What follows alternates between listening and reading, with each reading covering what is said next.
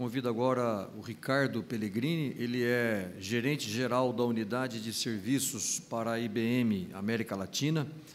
Ele é também, ele já ocupou diversas posições na IBM, na liderança executiva, dentre elas ele já foi o presidente da IBM Brasil. Ele é graduado em administração, com pós-graduação em marketing pela FGV e especialização em marketing pela Universidade de Colômbia, nos Estados Unidos. Ricardo Pellegrini.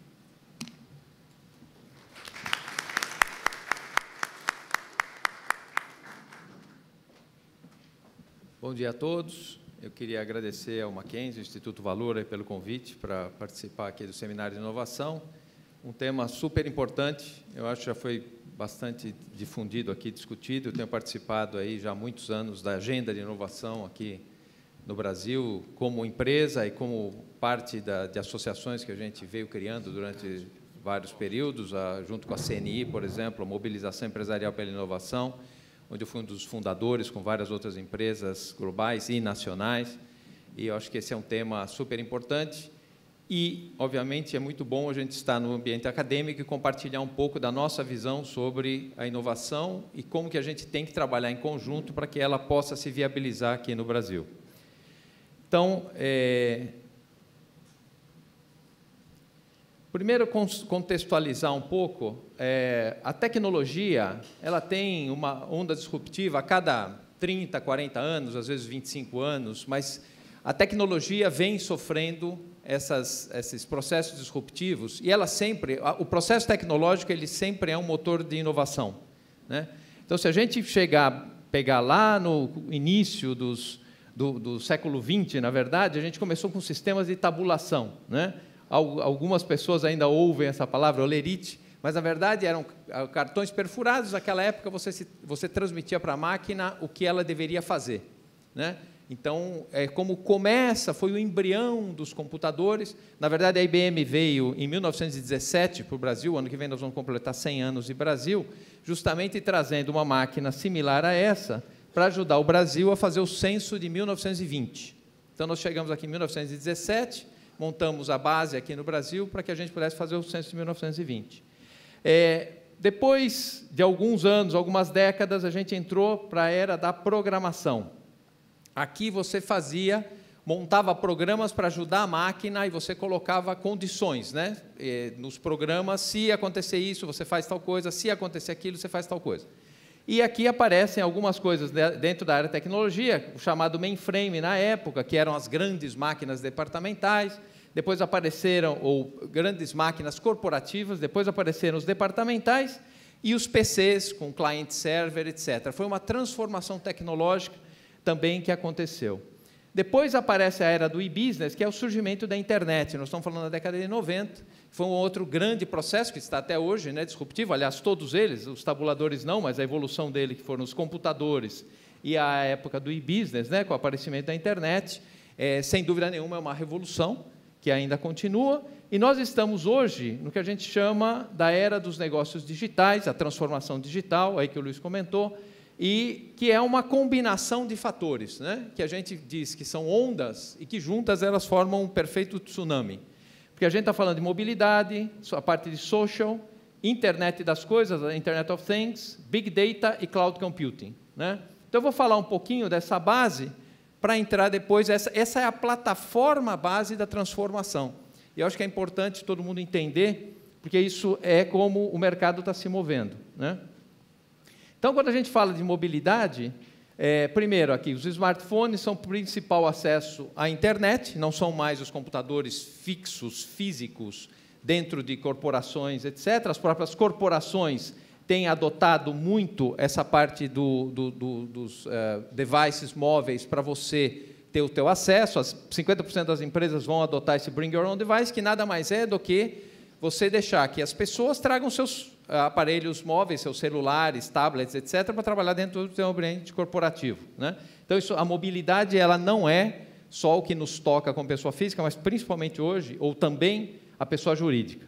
Os aplicativos, né, em média, nós temos 24 aplicativos em cada um dos celulares, alguns puxam a média bastante para cima, mas a verdade é que essa é a média. E 90% do tempo, essa foi uma pesquisa que foi feita, 90% do tempo nós temos o nosso celular ao alcance do braço. O que a gente vê que provavelmente, né, se o celular tiver uma conotação provavelmente de, de é, sabão ou alguma coisa assim que for inventado depois, até aqui o banho, sem dúvida nenhuma, é um inibidor para chegar mais perto dos 100%. Mas, sem dúvida nenhuma, as pessoas dormem perto, com o celular perto ao alcance do braço. Eu sou, eu sou testemunha. Você tem ali o, o processo de acesso, coloca ele para dormir, ele fica lá pertinho da cama. Então, a, o mundo se tornou móvel. Tá? E isso é um processo hoje reversível, né? e todo mundo utiliza de forma frenética, acessa, compra, checa, é, faz pesquisas, depois vai no físico ou não fazer uma compra, mas faz um uso é, efetivo dessa ferramenta. Ela vem acompanhada, obviamente, desse processo das redes sociais. Né? As redes sociais mudaram o tempo de resposta das pessoas e das empresas. De novo, o ambiente corporativo está junto desse processo. Mas nós interagimos, muitas vezes, pessoa física, e dentro do teu ambiente de trabalho, você também interage com redes sociais de forma corporativa. A gente vê aqui muitas empresas, por exemplo, utilizam no seu dia a dia o WhatsApp como um instrumento de comunicação, tá certo? Então você às vezes manda uma mensagem para alguém da tua família e depois você manda para alguém do ambiente corporativo para saber onde é que você está, estou chegando, não sei o quê, onde é que a gente vai se reunir para ir visitar o cliente, etc. Então você utiliza o processo de redes sociais eh, de forma muito forte, pessoa física e jurídica. Obviamente que essas duas andam muito é, é, né? cada vez menos a gente tem o acesso à área de redes sociais é, por computadores fixos, é, a maior parte realmente é na mobilidade. Mas é uma coisa interessante: 65% das empresas analisam as redes sociais para entender mudança de mercado. Um dos fatores que a gente faz e utiliza muito hoje é você ler a rede social para saber o que estão falando da sua empresa. E aí você entra com o processo de lançar produtos e ler a rede social. Antigamente você ia no mercado, lançava um produto, depois você pegava naquele mercado específico, fazia focus grupos, juntava todo mundo numa, numa sala, pegava algumas pessoas para te falar sobre o teu produto, o que, que elas acharam, etc. Hoje você lança produto e fica monitorando na rede social e o pessoal começa a falar, criticar, elogiar, etc. Então, isso é muito forte, cada vez mais forte nas empresas. Então, esse é outro fator dessa, dessas ondas que vão compondo o, o, tsunami que eu comentei.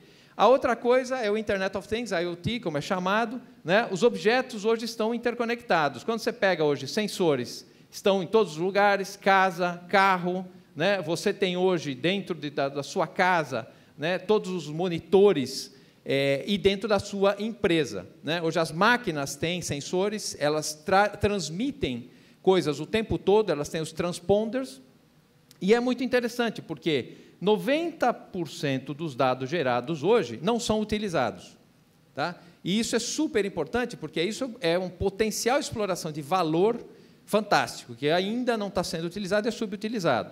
E aqui eu trouxe esses dados aqui, né? 21 bilhões de dispositivos estarão conectados à internet até 2020, é, eu vi três é, publicações diferentes, tá? Eu fui o mais conservador aqui. Eu já vi, esse, eu trouxe 21, eu vi 25 e 30 bilhões. Não importa esses números, pessoal. Aqui a ideia é da pro, a proporcionalidade das coisas. São bilhões de equipamentos que estarão conectados, que já estão hoje, aliás, o número de hoje se fala entre 5, outros falam 8, outros falam 10 bilhões, gerando informações que não são utilizadas. E se estima, de novo, não sei se são 430, se são 400, se são 300. São bilhões de dólares de produtividade, que são oportunidades que existem para as empresas capturarem. Quer sejam por produtividade, por redução de custo, ou por melhor aproveitamento de informações para o crescimento da empresa. De uma forma ou de outra, é capturar valor. Obviamente que esses três grandes, essas três grandes áreas de oportunidade estão carregando dados como nunca antes ocorreu na história da civilização. Tá certo? 90% dos dados que foram gerados hoje, tá certo? Foram gerados nos últimos dois anos.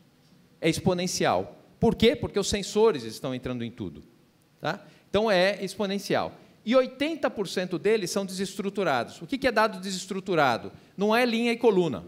Não é a tabelinha que no passado a gente ia lá, você vai para programa, fala assim, pega a linha X, coluna Y, pega aquela célula e trabalha com ela. São vídeos, voz, texto. o que gera uma complexidade tecnológica muito maior, porque é muito mais difícil você entender um vídeo. O que está acontecendo no vídeo? Se a gente cruzar as informações, você tinha um vídeo e alguém deu like. O que, que ele gostou dentro do vídeo? Quer dizer, é uma coisa muito mais genérica. A tecnologia está vindo, eu vou falar um pouquinho justamente disso daqui a pouco, para te ajudar a extrair valor de coisas que não são tradicionalmente fáceis ou mais fáceis, como eram linha e coluna. Tá certo? É uma geração de dados fantástica e o que é principal, e aqui é parte dos desafios e das oportunidades que todo mundo tem. Em uma pesquisa que nós fizemos com líderes empresariais, 50% dos líderes não têm a informação que eles precisam quando eles precisam tomar decisão. O que é um contraste enorme, já que a gente tem um monte de informações dentro da empresa e no mercado, e quando você precisa, você não tem informação. Então, é uma área de oportunidade, novamente, para todo mundo se contextualizar. E, por último, obviamente, tudo isso vem numa plataforma de computação flexível, muito mais barata, é pay-per-use, que chama Cloud Computing, tá certo? A grande parte das empresas hoje desenvolve as, as aplicações em cloud, isso é uma realidade. A grande parte delas lança novos produtos, mesmo empresas tradicionais já, e se tem um spin-off, startups, etc., e novos negócios, também nessa plataforma. Então, esse é o processo pelo qual a gente vê a revolução tecnológica, a revolução digital que nós estamos vivendo hoje. Isso está acontecendo hoje e é a base, isso não é o destino, isso é o caminho. O que vem pela frente, que é o que está acontecendo agora, eu vou falar um pouquinho mais disso, é a parte dos sistemas cognitivos, tá certo? Essa é a nova onda, se apoia em tudo que eu acabei de falar, tá certo? E é a grande área de oportunidade, eu acho, para quem está hoje entrando no mercado de trabalho, está na universidade, é mandatório, pessoal, entender o que está acontecendo aqui. Vocês vão tocar isso o tempo todo. Tá? Isso vai estar na vida de todo mundo, no ambiente corporativo e no ambiente individual, tocado pelo ambiente corporativo ou de forma direta. Então é super importante, porque isso vai ser diferencial competitivo para quem estiver no mercado de trabalho. Tá? Isso é um movimento sem volta. Eu vou dar alguns exemplos, que a gente não está falando de futurologia, não. Tá? Nós chamamos esse projeto de Watson. Watson não é. Muita gente pergunta, é elementar, meu caro Watson, é por causa disso? Não. Watson foi o fundador da IBM, Thomas Watson.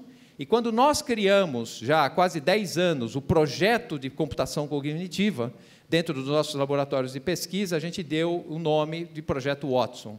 Então, isso virou, vocês ouvem aí nas rádios, etc., o Watson lendo as redes, lendo enciclopédias, etc., é exatamente esse o conceito. E o sistema cognitivo, né, que o nosso caso Watson, ele entende, avalia e aprende a partir de uma vasta quantidade de dados. Ele trabalha em linguagem natural, tá? Ele interage com os humanos em linguagem humana, ele lê texto, ele ouve voz e ele vê imagem, tá? Eu vou mostrar isso daqui a pouco. E ele ajuda a acelerar, acelerar e melhorar a nossa capacidade de tomar decisão. Na verdade, não é machine versus human, é máquina com ser humano. Tá? Esse negócio de machine versus human é para filme. Tá certo? Aqui nós estamos falando como é que o computador consegue, com essa capacidade, analisar enormes bases de dados que o humano já não consegue ver quais são os, os, os pontos de extração de valor e isso vir de uma forma consultiva para que o humano possa olhar e tomar uma decisão melhor. Tá? Esse é o processo. E várias indústrias já estão se beneficiando. Eu trouxe aqui, porque é o tema, a indústria de serviços, as indústrias de serviços. Né? Financial services, então bancos, a parte de varejo, saúde, tecnologia, são todas indústrias chamadas indústrias de serviços. Né? É, eu vou começar aqui pela de saúde, porque de saúde foi aquela que nós investimos primeiro com o Watson. O Watson, há três anos, começou a ser especializado em oncologia. Tá? Então, ele hoje é um grande especialista em oncologia, em câncer, os vários tipos diferentes de câncer. Nós temos, só para ter uma ideia, são 7 mil papers que são lançados por ano na área só de oncologia no mundo. O que representaria que um médico praticamente só leia papers durante toda a sua vida e ele não vai conseguir ter clientes. Tá? E existe um gap hoje enorme para que um médico possa tratar um paciente e saber o que está sendo lançado, porque às vezes demora um ano ou dois para que ele tome contato com uma droga que acabou de ser lançada e que poderia estar salvando vidas. Mas como isso não chega no médico, porque ele não tem tempo de ficar olhando tudo isso, então ah, você tem desafios enormes nessa área de saúde. Foi aí que a gente focou o Watson, e eu vou mostrar aqui como primeiro, é um vídeo muito curto, que mostra o Watson com a capacidade dele de ver e ele de ajudar o médico a diagnosticar câncer de mama, tá? que é uma das especialidades que a gente desenvolveu junto com, com o Watson. Ultrasonic image has arrived. Tumor detection. Tumor has been found. Proceed to tumor characterization. Shape detection. Oval. Mass margin. Well-defined border. Circumscribed mass. Orientation of mass. Parallel to skin. Lesion boundary. Echogenic halo. Echo pattern. Anechoic. Posterior acoustic features. Posterior enhancement. Mears parameters. BIRADS 2. Anechoic. Homogeneous. Get clinical input from the patient files. High fever. Mastodynia. Tender left breast lump. Combined recommendation. Differential diagnosis. Either simple cyst or galactocele. Patient management. Favor course of antibiotics over fine needle aspiration or incision and drainage. End of case processing. Thank you. Esse aqui é um exemplo, pessoal, de um, como eu comentei, não é esse, esse processo é de suporte ao médico, ok? Isso aqui você não está falando com o paciente, você está falando com o médico. Então você fez através da imagem uma detecção de um tumor e com análise de características do que o Watson vem sendo educado em características justamente visíveis, físicas, é, e utilizando o record do paciente, ou seja, tudo aquilo que o paciente tem passado pelo médico, no hospital, etc., ou seja, todo esse histórico médico, cruzando essas informações, ele diz: eu, minha recomendação é que seja tratado dessa forma. O médico, com o seu conhecimento, obviamente, leva isso e toma a sua decisão e prescreve o que tem que ser prescrito é na avaliação dele.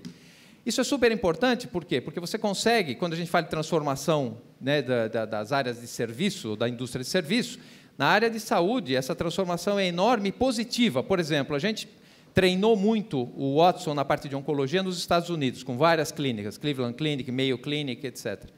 E hoje a gente está levando isso para o mundo inteiro. Então, a gente anunciou agora na Índia projetos, nas Filipinas, aqui no Brasil também. Então, a gente consegue levar isso para quem não teria, talvez, o acesso, por até conhecimento médico, para poder fazer uma análise tão apurada quanto o Watson pode ajudar médicos, portanto, você leva a expertise para outros locais e, com isso, você agrega valor. Tá? Bom, para não parecer que isso é só Estados Unidos, eu vou passar rapidamente aqui um exemplo, e aqui todos os exemplos que eu vou usar de indústrias diferentes, é simplesmente para citar. No Brasil, projetos que a gente também está fazendo, acabamos. No Brasil, nós estamos trabalhando com várias empresas, várias delas não permitem que a gente compartilhe os nomes. Então, aqui eu vou compartilhar algumas que nos permitiram, que já saíram em público. Nós fizemos, acabamos de uh, montar uma parceria aqui com o laboratório Fleury, que está utilizando justamente o Watson for Genomics para olhar toda essa parte de sequenciamento genômico. Para olhar, quando você pega um paciente de câncer, ele gera um terabyte de informações por dia. Então, você pegar todas essas informações e juntar esse expertise para que você possa ter trends de diferentes tipos genômicos que poderiam ter tipos de tratamentos mais efetivos. Tá? Então, essa foi uma parceria que a gente montou aqui com o Fleury. No setor financeiro, a gente fez uma parceria muito forte com o Bradesco, que é uma das referências que a gente tem aqui. A gente tem, criou uma solução de atendimento virtual aos clientes internos do Bradesco, e aí o Watson foi treinado nos produtos do banco. Então, ele teve meses de treinamento e ele já pode responder mais de 200 mil perguntas em 59 produtos do banco. Ah, o Bradesco, todo mundo sabe, incorporou o HSBC no Brasil e o time da HSBC foi treinado pelo Watson dos produtos bancários do Bradesco, com uma forma justamente de interação humana, falando, perguntando, mas espera aí, como é que funciona? Conta corrente, como é que eu abro, fecho? Como é que é esse processo como um todo? Então, o Watson já está treinado nos produtos do, do Bradesco. Na parte de educação, nós fizemos uma parceria com o Sesame Street, que a gente conheceu aqui como Vila Sésamo, né, uma associação lá nos Estados Unidos. Por quê? Porque a gente está muito focado na parte de educação para crianças, nesse projeto específico. As crianças aprendem entre 2 e 5 anos, aprendem muito mais rápido, tem uma capacidade né, de aprendizado muito grande. Elas se mobilizam com a, a, as figuras da Vila Sésamo e a gente colocou o Watson para quê? Para ter o conhecimento das crianças para chegar ao aprendizado, melhor forma de aprendizado individualizado das crianças de forma que a gente possa, inclusive, segmentar o aprendizado por tipo de aprendizado e nas salas de aula você possa ter essa quebra, tá certo? Então esse é um projeto também que a gente está desenvolvendo na área de educação, que é outra área da indústria de serviços, né?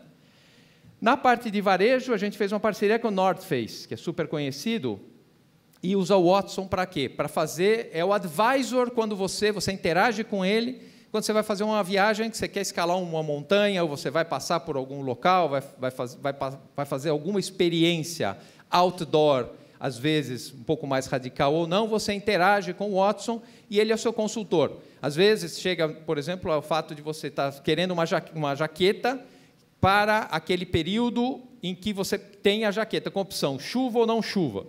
E se você pedir chuva, ele te faz a pergunta: que período você está querendo mesmo? Bom, esse período, olha, é só 3% de possibilidade de chover. Você vai querer gastar realmente para ir, a probabilidade, essa jaqueta é mais eficiente, mais efetiva para aquela tua necessidade. Você que toma a decisão, mas ele é o teu advisor nesse processo. Tá? É...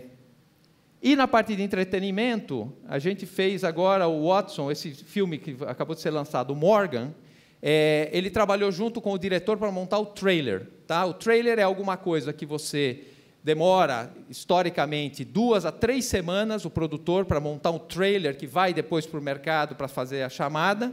E o que foi feito é que a gente fez o treinamento é, do, em várias e centenas de trailers com o Watson. Então, ele vai pegando o que caracteriza um ponto alto num trailer, se é a ação, se é o volume que fica mais alto, alguém que grita, etc., que e vai pegando esse histórico, e ele ficou um expert, e em menos de um dia foi feito o trailer do Morgan, quando demorava duas ou três semanas. Então, de novo, é produtividade que a gente tem suportando o humano, tá certo? Não substituiu aqui o produtor, mas ele realmente fez, vai dar muito mais produtividade.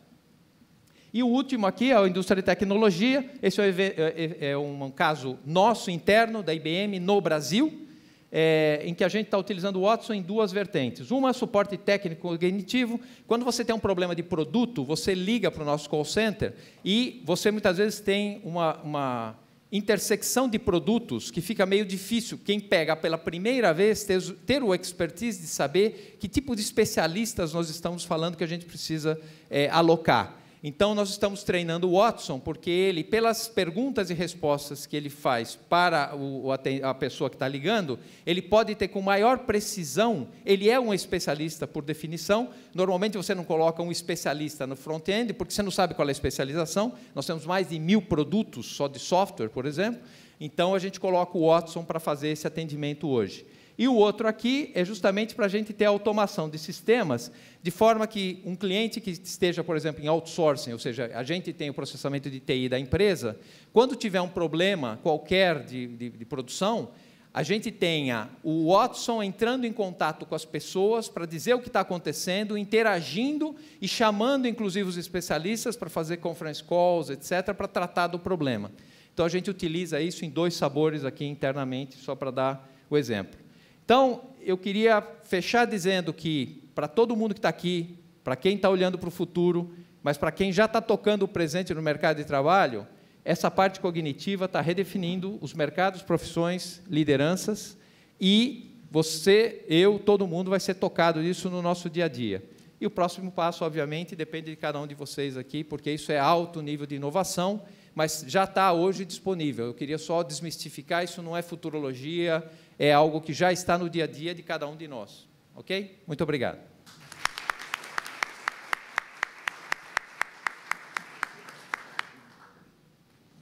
quero agradecer ao Ricardo pela também provocante apresentação. Nós vamos passar para a sessão de perguntas.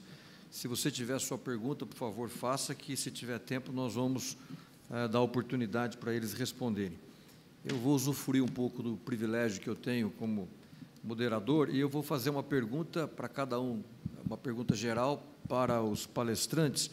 Em razão de tudo isso que nós assistimos, é, eu tive a oportunidade agora de há quase 60 dias de participar de um evento nos Estados Unidos, onde ah, os dois chefes de campanhas das candidaturas presidenciais, todo mundo assistiu a polarização entre os democratas e os republicanos nos Estados Unidos. E pelos chefes de campanha nessa apresentação, você via que eles eram distintos, que havia realmente caminhos diferentes. Mas havia uma coisa que me chamou a atenção nas duas apresentações, de uma certa unanimidade, um certo consenso, específico, claro, lá para os Estados Unidos. E a maior preocupação deles era que, mais ou menos no horizonte dos próximos 10 anos, 10 milhões de motoristas estarão desempregados nos Estados Unidos em razão do Uber, principalmente na questão eh, do transporte.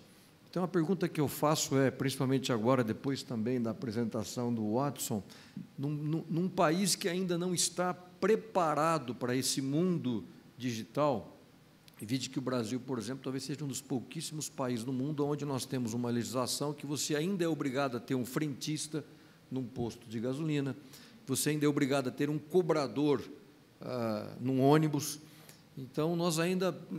Como que a gente pode é, ter um colchão em um país, no Brasil, com essa revolução que é irreversível, que está chegando, que está desembarcando, mas como que nós podemos preparar a população brasileira em razão desse eventual desemprego que nós teremos?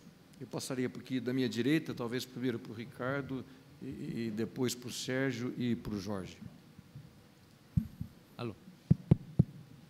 Bom, está ouvindo ou não? Não, Está saindo?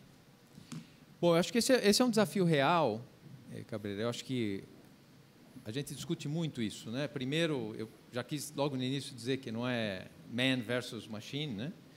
Mas é uma colaboração, mas sem dúvida nenhuma você vai ter algumas áreas que você vai ter uma transformação é, digital que pode levar à mudança no cenário de empregos. Eu queria só trazer a sua área de expertise, muito maior que a minha, nisso, mas a agricultura já passou por isso, né? Quer dizer, você tinha antigamente a pessoa que estava lá no campo colhendo as coisas e hoje você tem colheitadeiras automatizadas e esses empregos sumiram. Então a transformação, e aí eu acho que falando para esse público é super importante, é que as profissões estão se transformando. Eu vou dar só dois exemplos de coisas que não existiam, de funções que não existiam há cinco anos, até menos. Chief Digital Officer, as empresas hoje, por causa da transformação digital, há dois, três anos, começaram a criar essas funções. Essas funções não existiam. Então, para quem está no mercado hoje, olhando que vai sair no mercado de trabalho, ou já está no mercado de trabalho, quais são as características que se espera de um Chief Digital Officer e de alguém que vai fazer parte de um Digital Transformation Team. Isso é super importante, porque, sem dúvida nenhuma, vai requerer um skill que não existia sequer como uma, uma é, é, ideia de que essa função pudesse existir. E a outra é o Chief, Chief Data Officer. Eu falei do Big Data aqui. Né? Então, as grandes corporações, hoje, brasileiras, eu estou falando, todos eles já criaram essa função. Quer dizer, o que, que eu faço com o meu volume de dados, que é enorme e que eu não extraio valor? Né? Então, eu acho que o que vai acontecer, assim como aconteceu na agricultura, esse pessoal foi, uma parte veio para a cidade, outra parte virou microempresário, tá certo? outra parte virou funcionário interno de uma processadora e não mais um, alguém que estava na colheita no campo, mas trabalhando dentro da usina, por exemplo. Então, eu acho que vai ter uma transformação, sim, do mercado de trabalho e que cada um tem que estar conectado. Quem estiver desconectado vai realmente, oportunamente, perder sua posição e se não estiver preparado para outra, para outra área de expertise, vai ter um problema. Mas eu acho que esse é o, é o processo. É um, é um processo dinâmico em que portas se fecham enquanto portas se abrem. É a minha visão.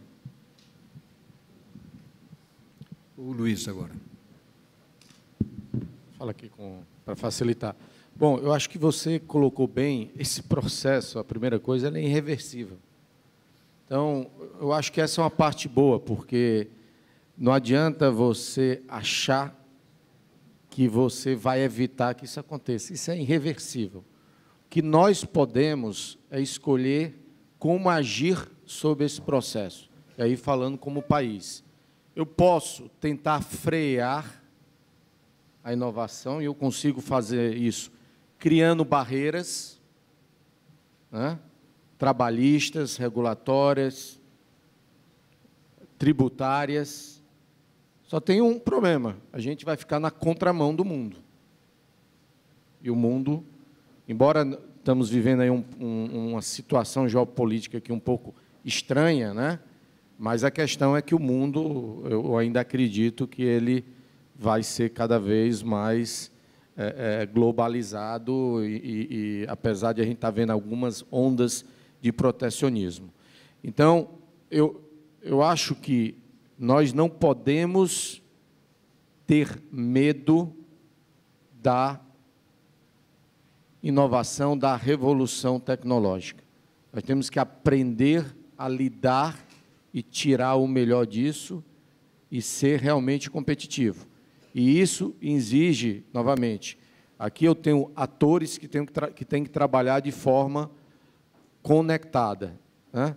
Nós falamos é, de iniciativa privada, e aqui iniciativa é, privada, grandes empresas, como a UI, a IBM e tantas outras, como os empreendedores, que têm uma função essencial nesse processo, né, iniciativa privada, 90% dos empregos, dos novos empregos, né, porque e, e, nós não sabemos nem quais vão ser os empregos do futuro.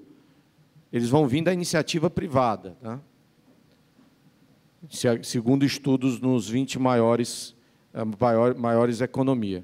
Mas precisa da ação coordenada, iniciativa privada, governo, academia, ok? Se isso não acontecer, se a gente continuar com o nosso sistema de educação falho, ou com a academia não se conectando com a realidade daquilo que precisa ser produzido, consumido, trabalhado, nós vamos ter um problema, inclusive, de talentos no mercado de trabalho. Você vai ter pessoas aprendendo disciplinas, e a gente já tem discutido isso, que não são mais importantes ou não serão mais importantes no futuro. O que vocês viram aqui do Ricardo, é, e, e, e que é realmente assustador, mas eu, eu nunca fui bom de memória, tá? É muito claro que eu não preciso decorar aquilo tudo. O Watson ou qualquer outra tecnologia vai fazer. O que eu preciso é saber lidar com a máquina, entender a máquina, saber solucionar problemas complexos, saber fazer as perguntas corretas. Então, nós precisamos mudar também o nosso sistema. Então, é uma ação coordenada que pode acelerar né, a, a reação a essas inovações, ou nós podemos escolher frear por algum tempo, porque eu acho que num momento esse dique ele, ele vai estourar, né? Ou a gente vai ter desemprego, porque o país fica pouco competitivo, mas fica claro que essa revolução ela é irreversível. Eu tenho uma, uma visão muito particular com relação a isso, doutor Cabreira, é, com relação à a, a, inovação. Eu acho que a grande profissão do futuro vai ser a profissão de educador. É, se vocês observarem, por tudo que foi falado aqui hoje e por tudo aquilo que a gente vem vendo nos últimos dez anos, toda grande revolução na área de inovação ela significa perda de emprego, diminuição de emprego. Quem pôde olhar a eleição agora nos Estados Unidos e não conseguiu entender qual foi o recado que os Estados Unidos deu, vai perder uma grande oportunidade de é, mudar o rumo da história. A gente, a eleição dos Estados Unidos foi muito clara é, com relação ao recado que o, o, o, povo americano deu, que eles querem emprego. Né? o Donald Trump ele focou muito no homem que não consegue mais prover recursos para sua família, né? O homem que perdeu o emprego. Então, todo grande salto de tecnológico que a gente vê no mundo, esse significa é, uma quantidade cada vez menor de, de, pessoas empregadas, tá? Então, a gente viu isso na revolução industrial, né? A gente viu isso nas máquinas de escrever da IBM, né? A gente viu isso com Uber recentemente. A gente viu isso com smartphones substituindo o computador. Hoje, quem usa o computador? Quase ninguém, só para tarefas um pouco mais elaboradas. Então, acho que o grande, o grande desafio que nós temos hoje é justamente criar é, empresas que consigam gerar emprego. Né? Porque, se você vê bem, é, to, toda, tudo isso que a gente está falando, na minha própria palestra aqui, a gente está falando que eu vou tirar emprego de pelo menos 10 pilotos de avião. Eu vou tirar emprego de pelo menos é, nove pilotos de helicóptero. Eu vou tirar emprego de marinheiro. A gente vai tirar emprego de muita gente. A gente vai, a partir do momento que a gente vai otimizando processos e serviços, a gente vai diminuindo os empregos. Essa é a verdade. Né? Então, o grande desafio para que é, para nós gestores hoje é entender os recados que as revoluções tecnológicas têm trazido. Tá? E tem muita gente que não está entendendo. ok? É, quando eu trabalhava na Mil, eh, a gente, no início da minha carreira, era você tinha uma massa de vendedores enorme na rua tirando pedido. Né? E hoje tudo é feito através da internet. Assim, quantos vendedores foram mandados embora?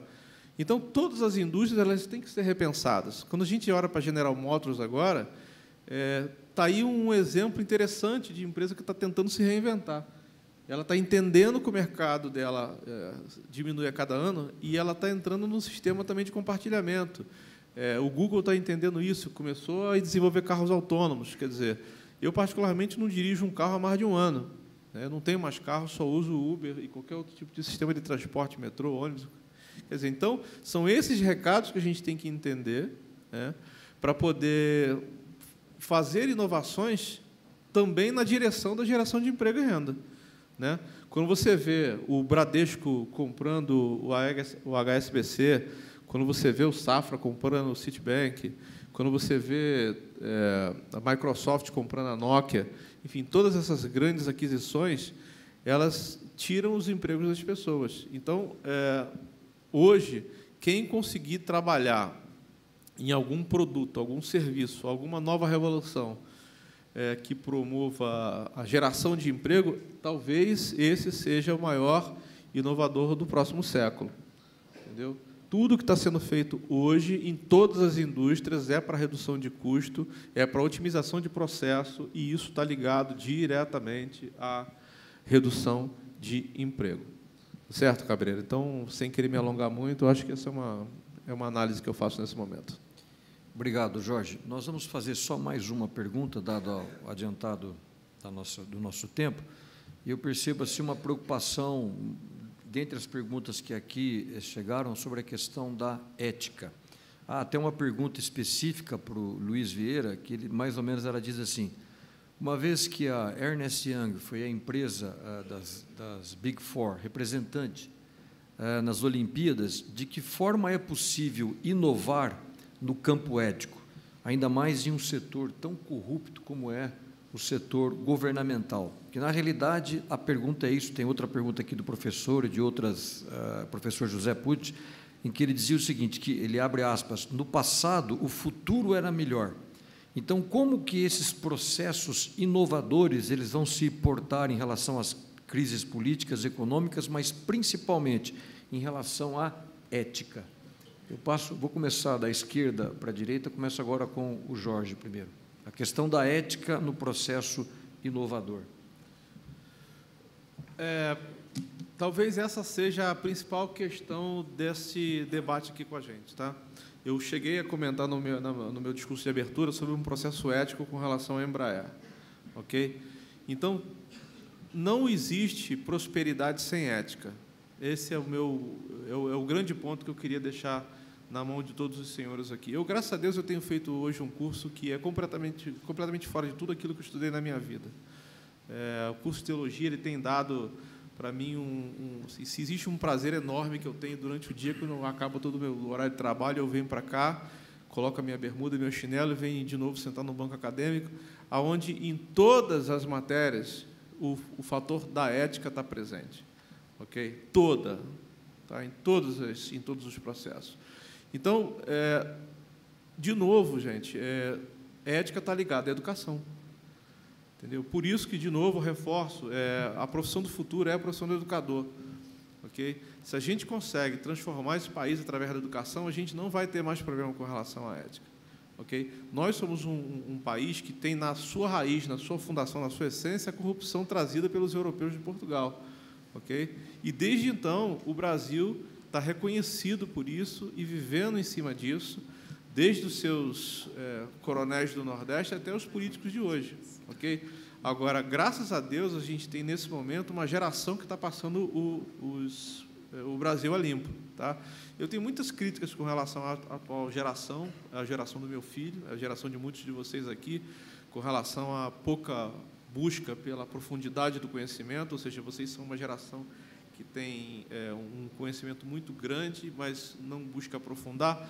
Mas, em compensação, vocês têm uma outra vantagem com relação muito grande à minha geração, que é a vantagem de estar querendo fazer as coisas da maneira certa, tá?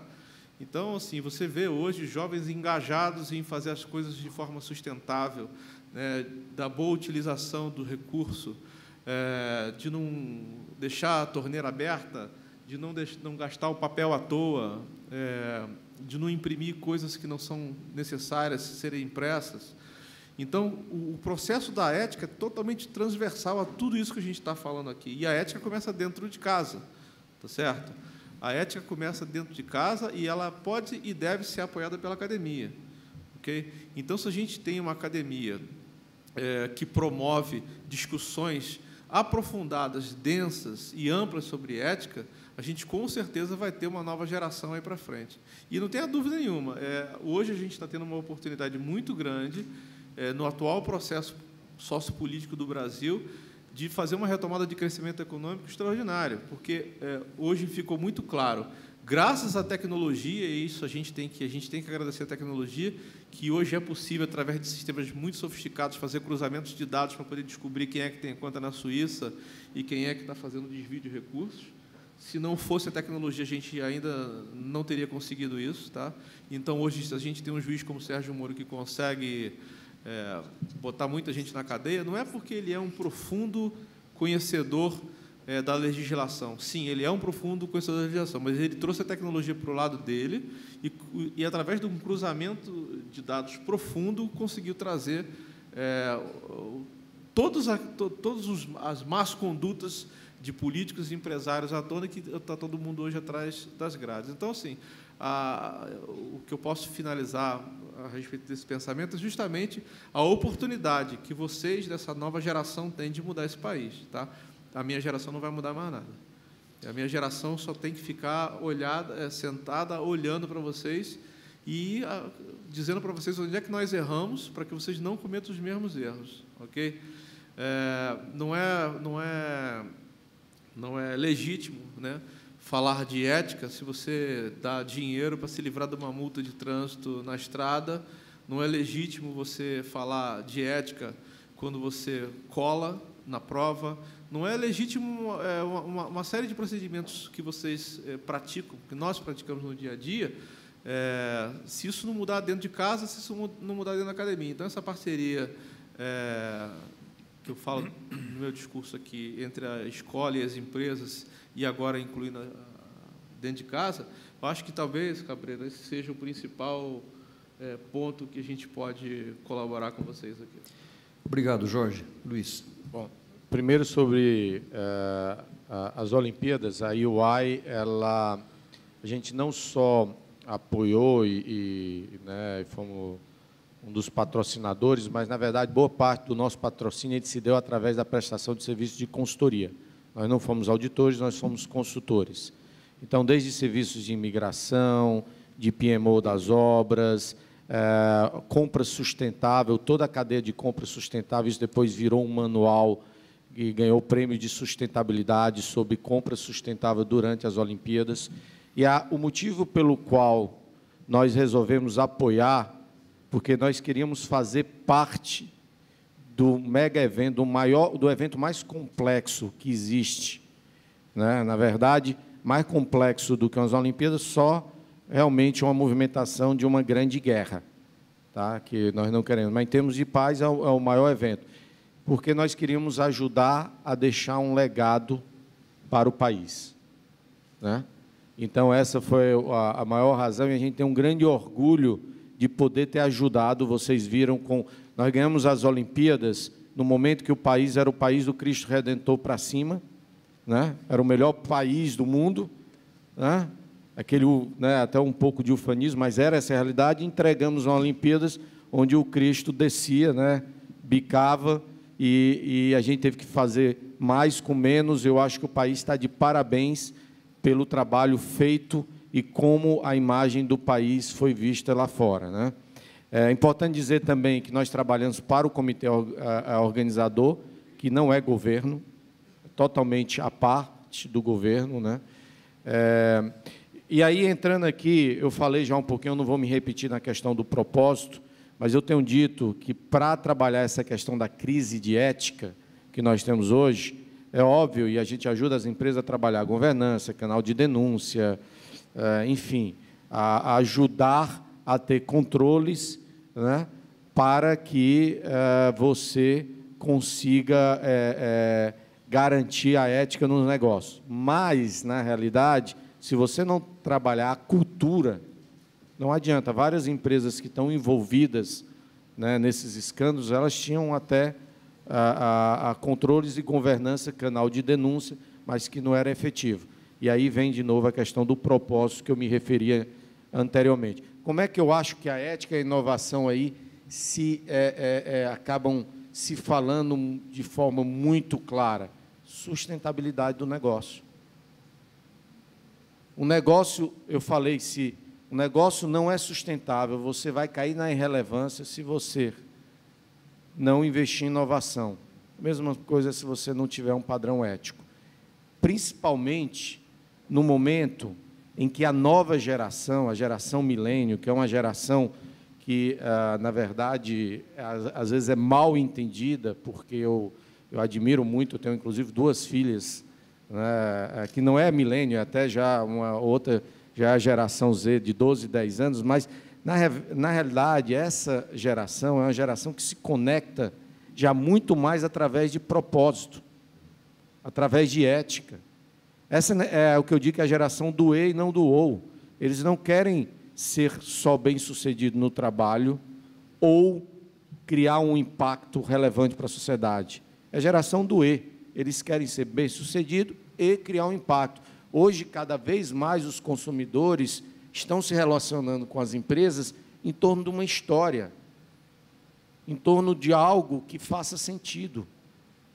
Então, as empresas que não entenderem a importância da ética e assim também o governo, não vai entender que está caminhando para a irrelevância. O que está acontecendo no país é extremamente positivo. Extrema. Eu estava dando uma entrevista ontem e, ah, não, mas ah, num primeiro momento, o ambiente de negócio.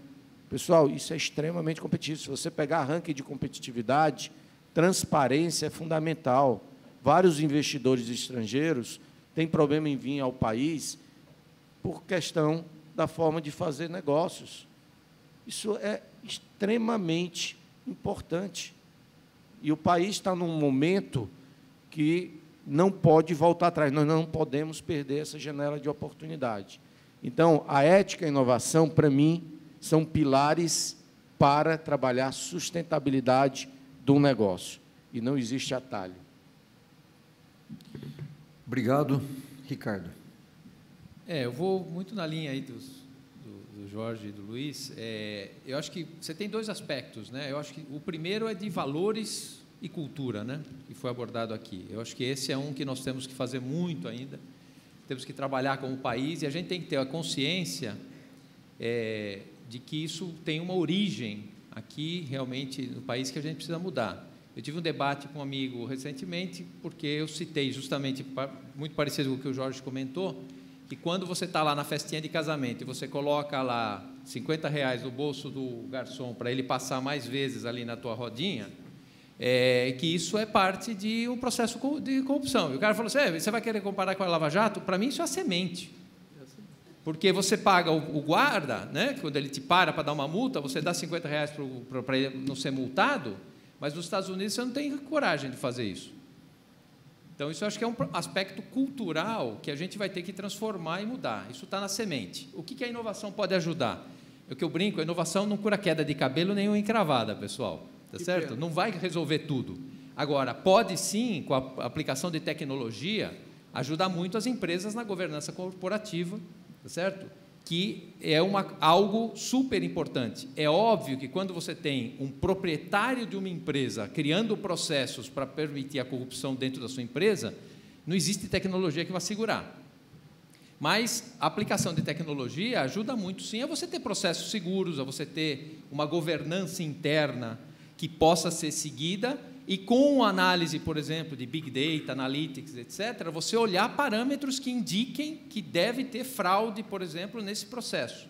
E que isso vá para um painel de controle corporativo que possa indicar, então, se está tendo alguma coisa, ou pelo menos um indício de algum tipo de problema. Isso a gente faz realmente o tempo todo. Agora, não adianta se lá na semente o valor daquela pessoa é que vale a pena a gente correr risco e depois de criar os problemas que a gente está vendo aqui no, no, Brasil e em vários lugares do mundo. Então, eu acho que não dá para resolver tudo, mas eu acho que a inovação e tecnologia podem ajudar muito, sim, na, nesse processo de, de ética para o futuro e para o presente. Obrigado.